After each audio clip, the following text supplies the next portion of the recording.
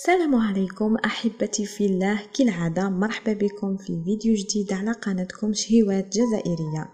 اليوم راح نحضروا مع بعض تحلية منعشة بذوق الليمون لكن بطريقة مختلفة وذوق جديد وبزاف بريزونطابل وبنه رهيبة.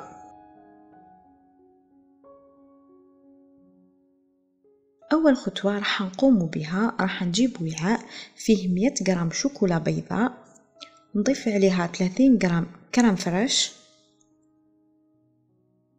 وراح ندوبها في باماغي مع التحريك المستمر حتى تذوب الشوكولا وتتجانس مع الكرم فريش ونتخلصوا من كامل حبيبات الشوكولا.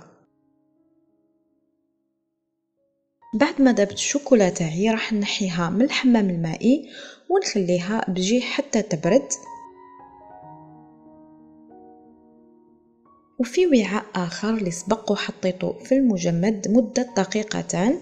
راح نحط فيه 160 غرام كريمة الخفق اللي لازم تكون باردة. هنا خياتي أنا كريم فريش أو كريمة الخفق اللي استعملتها غير محلات. وراح نضيف عليها مبشور حبة ليمون من الأحسن أنها تكون كبيرة أو تقدروا ديروا زوج حبات ليمون. وراح نخفق الكريمة تاعي بالدراب الكهربائي حتى نتحصلوا على كريمة تكون متماسكة بهذا القوام. وراح نضيف عليها شوكولا اللي سبق لي وذوبتها بعد ما تكون بردت شوية. ونزيد نضربهم شوية حتى يتجانسوا كامل المكونات مع بعض.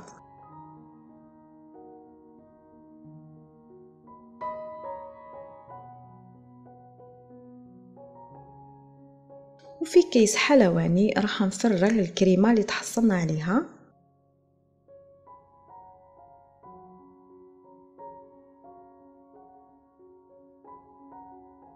وأنا هذه la douille اللي استعملتها. راح نجيب هنا كمية من الحليب و les biscuits boudoirs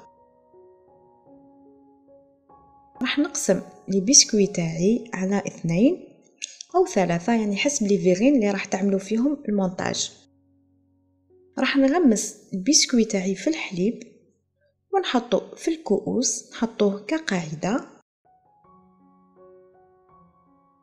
نحاول إني ما نخليش فراغ باش ما تهبطش الكريمة يعني هكذا باش نتحصلوا طبقة تاع biscuit boudoir وطبقة تاع الكريمة.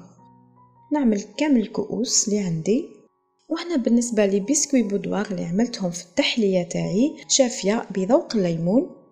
بعد ما عملت طبقة من البسكوي راح نجيبو الكريمة اللي تحصلنا عليها نعمل بها طبقة يكون السمك تاعها من واحد سنتيمتر حتى لواحد ونصف. وراح نكرر العملية. راح نزيد نحط طبقة من البسكوي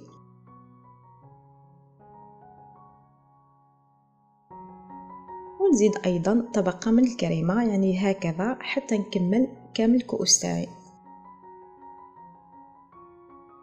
ودائما تحاولوا إنكم تغمسوا les biscuits من الجهة اللي ما فيهاش سكر. وفي الأخير راح نعملو دي غوزاس بهذا الشكل. بعد ما كملت كامل الكؤوس تاعي أنا المقادير اللي سبقت وعطيتها لكم عملت لي ربع كؤوس متوسطه الحجم. راح ندخلهم للثلاجة ومن الاحسن تخليوها من ساعتين حتى لثلاث ساعات. هكذا باش البسكوي بودواغ تاعنا يطلق روحو والكريمة تزيد تشد روحها أكثر. هنا بعد ما جازت ساعتين على التحلية تاعي في الثلاجة راح نزينها بمبشور ليمون.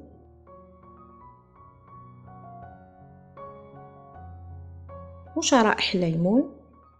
بهذه الطريقة وهنا حبيت نستغل أيضا الفتات تاع les biscuits. حبيت نزين به وانتوما التزيين يبقى دائما اختياري اللي تحب تعمل مكسرات أو أي شيء متوفر عندها.